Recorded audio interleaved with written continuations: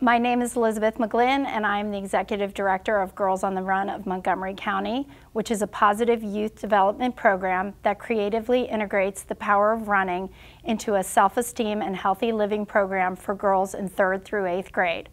We're a successful nonprofit in Montgomery County due to the support of so many volunteer coaches as well as local businesses that help us put on a 5K fun run twice a year.